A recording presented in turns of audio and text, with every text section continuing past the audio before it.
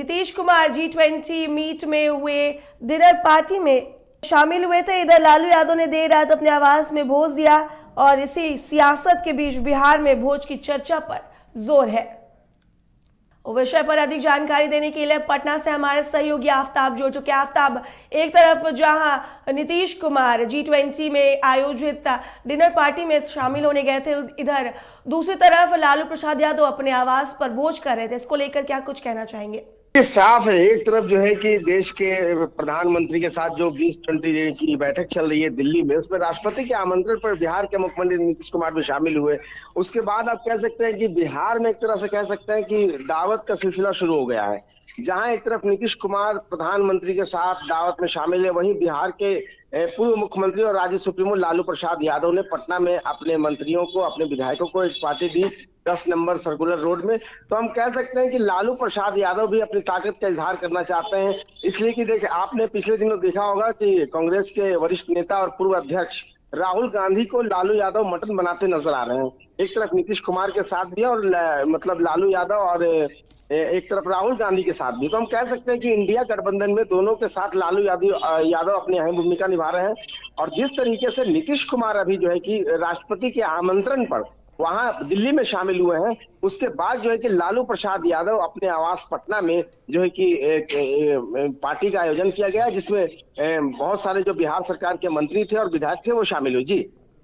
जी आफ्ताब जब से India alliance बनी है तब से हम ये देख सकते हैं कि भोज पे भोज और आ, लोग व्यंजने बना रहे हैं अलायंस के पार्टी एक साथ भोज कर रहे हैं और अलग अलग तरीके के व्यंजन बनाते हैं। इसको क्या कह सकते हैं? राजनीति में इन्होंने खाने को क्यों आ, साथ ले आया है?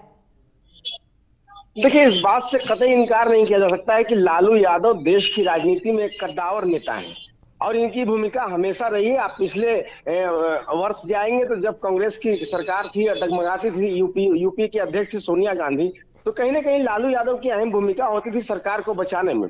और हमेशा इन्होंने भारतीय जनता पार्टी का विरोध किया है, उस पर निशाना साधा है। तो हम कह सकते हैं कहीं ना कहीं लालू यादव फिर से अपने नए अंदाज में जो है कि नज़र आ रहे हैं और ये कह सकते हैं कि जिस तरीके से मतलब नीतीश कुमार की पार्टी दिल्ली में हो रही है तो यहाँ बिहार की राजधानी पटना में लालू यादव की पार्टी हो रही है।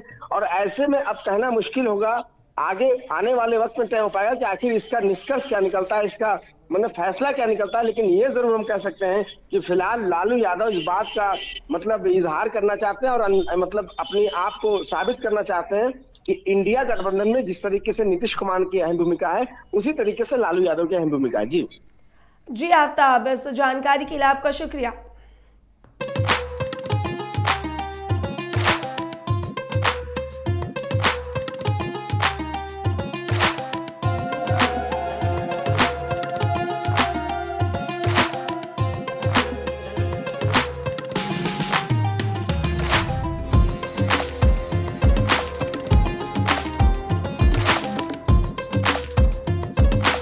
आईआईटी जी नीट एस्पिरेंट्स के सपने को पंख देने आ गया है।